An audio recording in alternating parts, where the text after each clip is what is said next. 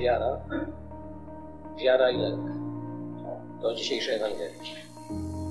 Lęk także, jakoby lęk, ze strony Pana Jezusa. Gdy Jair prosił, a miał to człowiek, a, miał, a człowiek ten był wielki wiar. Gdy prosi go uzdrów moją córeczkę. Jezus mówi, nie lękaj się. Jakby chciał powiedzieć go, wiesz, ciągle wiesz. Nie ustawaj. Nie zachwij się przecież chwilkę, bo jak będzie głęboka wiara, twoje dziecko będzie, będzie żyło. Chciała tylko dotknąć się skrawka jego szaty, nic więcej. I potem ten lęk, bo zalękniona upadła przed nim. Gdy Jezus rozpoznał, że to ona, zalękniona upadła. Lęk i wiara. Lęk budzi niepokój, lęk rozbija ufność, lęk wprowadza w nasze życie zamieszanie. To lęk jakoś paraliżuje nasz umysł, nasze decyzje. Lęk jest czymś bardzo strasznym. A jeżeli lęk zaczyna się objawiać w życiu wewnętrznym, w wierze, to wtedy zaczynamy Boga jakoby wystawiać na pokuszenie. Ja muszę to utrzymać, bo inaczej nie będę przecież wierzyć.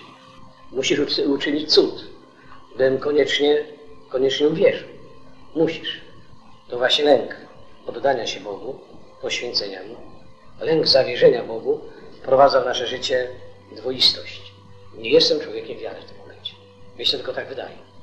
Nie jestem człowiekiem wiary. To lęk mówi, ja wierzę, każe mi mówić, wierzę w Boga, ale nie wierzę Bogu. Wiem, wierzę. Wiara mi mówi, że On jest. Że jest moim Zbawicielem, że Stwórcą, że Panem zmartwychwstał. To wiara mi o tym mówi, ale ja Jemu w to wszystko nie wierzę. Ja to jakoś wiem po swojemu, ale nie potrafię Mu zawierzyć. W sensie, On kieruje moim życiem. Wtedy, czy jest bardzo dobrze i wszystko mi się bardzo układa, całe życie jest uśmiechnięte i szczęśliwe, On kieruje tym szczęściem, bo On jest Panem szczęścia. Gorzej, gdy moje życie zaczyna się łamać, gdy przychodzą wewnętrzne rozterki, pokusy, jeszcze gorzej, gdy przyjdzie cierpienie, zupełnie źle, gdy ktoś z tego świata już odchodzi, bardzo bliski. Wtedy zaczyna się wszystko palić. Gdzieś ta wiara zaczyna uciekać, bo jej praktycznie nigdy nie było, bo nie było zawierzenia. Było tylko jakieś, jakaś wiara, wiara bardzo płytka, wiara, która się tylko utrzymywała wtedy, gdy nie było kłopotów i trudności. Chodzi o wielkie uwierzenie Bogu, tak jak Jair. Możemy przyjąć postawę jeszcze inną, śmiać się z wiary. Tak właśnie uczynili ludzie, którzy otaczali rodzinę zmarłej dziewczynki. Robili zgiełk, zamieszanie, płakali, ale gdy Jezus powiedział, dziewczynka tylko śpi, zaczęli się śmiać. Jaką wielką próbę musiał przeżywać Jair. Jako wielką. On wierzy mocno. Jezus się nachylił na niego wiarą. Powiedział do niego, nie lękaj się, wierz.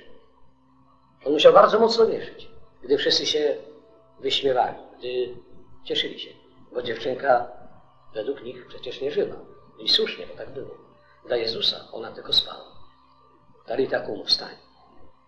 I dziecko zostało uzdrowione. Tak jak kobieta ze swojego krwotoku też została uzdrowiona. Wstań. Ja sądzę, że to jest wielki znak.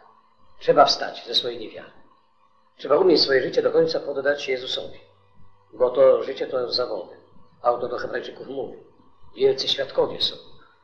A my bierzemy udział w zawodach. Bardzo wielkie porównanie, zbliżenie do Pismy Świętego Pawła. Bierzemy udział w zawodach, które trwają, nie wiem, Pismo Święte mówi 70 lat, 80 jesteśmy mocni. Nieraz trochę więcej, nieraz trochę mniej. Ale to są zawody wykształcania w sobie postawy człowieka zawierzenia Bogu. Człowieka głębokiej, wielkiej wiary. Umieć wierzyć, nawet wtedy, gdy się inni śmieją. Umieć wierzyć i pozwolić, by Jezus pochylił się nad moją wiarą. To takie bardzo dla mnie wręcz wzruszające, że Jezus pochyla się nad Ojcem z rozpaczonym człowiekiem i mówi, nie bój się, wiesz, nie bój się. Gdy targają mnie mną różnego rodzaju kłopoty, może i cierpienie, gdy przychodzi to, co tak pięknie dzisiaj w komentarzu przed czytaniami usłyszeliśmy, gdy przychodzi najgorszy z kłopotów, grzech, który rozwala jedność we mnie, jedność w wspólnocie, jedność w Bogu, gdy zaczyna się ten grzech coraz bardziej panoszyć, to wtedy Jezus pochyla się nad moją wiarą i mówi, nie bój się, tylko wierz. Wierz mocno, wierz. On wtedy wyciąga rękę, mówi, nie grzesz więcej. Podaje swoją dłoń, jakby chciał mnie chwycić za rękę i mówi, wstań i idź dalej.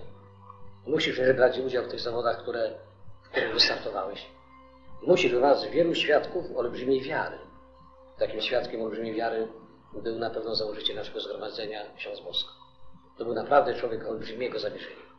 Poprzez Marię, wspomożycielkę, czynił no po prostu cuda, znaki, ale też jej zostawił wspaniałe dzieło wychowania, nowej, nowej metody wychowawczej, wspaniałe dzieło zgromadzenia i zgromadzeń chwili.